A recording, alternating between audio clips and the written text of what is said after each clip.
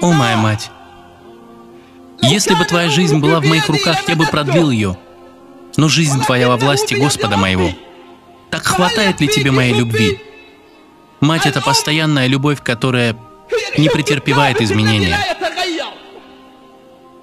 Все, кто вокруг тебя, подвержены изменениям, кроме твоей матери. Все, кто вокруг тебя, могут покинуть тебя, кроме твоей матери. Каждый из окружающих способен оставить тебя в беде, кроме твоей матери, которую никто не способен заменить в этой жизни, и которая была создана лишь раз, и не оспорить тебе это. Мать была создана лишь раз. Сколько она не спала ради твоего отдыха. И как она уставала ради того, чтобы ты поспал и набрался сил. Разве ты не помнишь? Разве ты не помнишь день, когда уснул без одеяла, а проснулся под ним? Разве ты не помнишь день, когда, проснувшись, ты нашел пищу возле себя? Кто же готовил ее тогда? Скажи мне, кто ее готовил?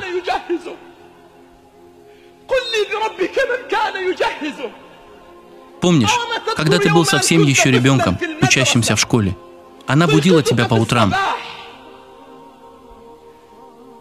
Она бодрствовала уже с самой утренней молитвы, чтобы ты мог поспать и чтобы разбудить тебя вовремя.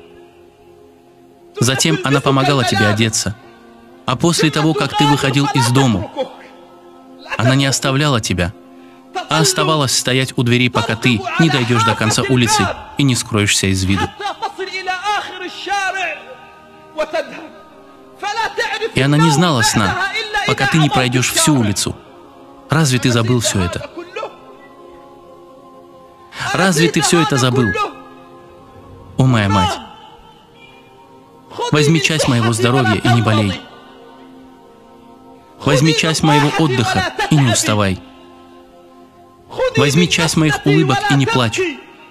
Возьми часть моих радостей и не печалься. Уважаемые слушатели, мать — это тот человек, о котором дал завет сам Господь небес и земли. Что же делают сегодня молодые люди со своими матерями? Как поступают зрелые мужчины сегодня со своими матерями?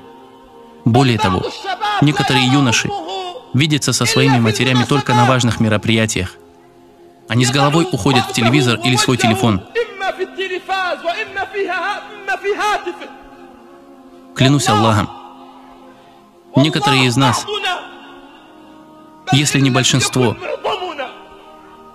видят экраны своего телефона чаще, чем мать. И он посещает страницу за страницей в интернете намного чаще, чем возвращается к воспоминаниям и улыбкам рядом со своей матерью. А некоторые смотрят на своих друзей и товарищей, коллег по работе, и улыбаются им. Но когда приходят домой, то лишь отвечают своим матерям на приветствие и больше с ними не разговаривают.